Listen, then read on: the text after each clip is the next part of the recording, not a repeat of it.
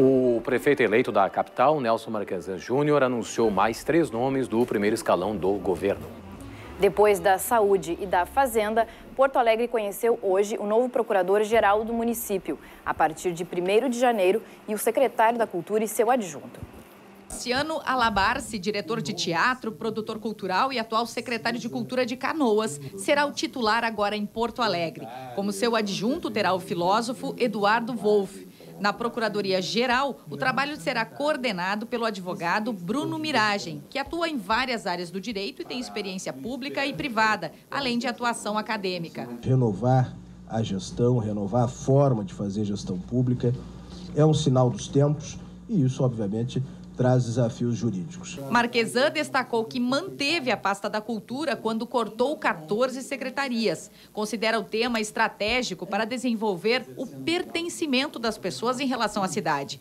Utilizar a cultura como uma construção, como uma educação né, para as nossas crianças no ensino fundamental público de Porto Alegre.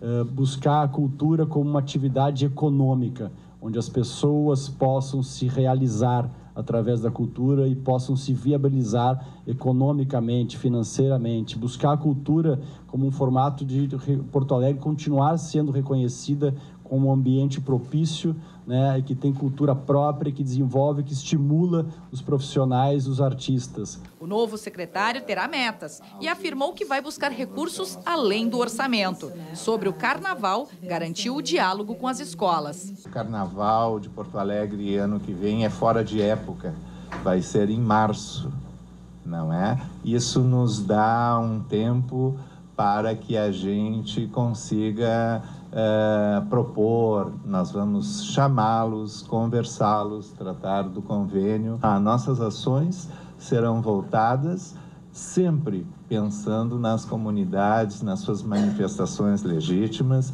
e eu tenho certeza de que o carnaval é uma manifestação e um direito legítimo.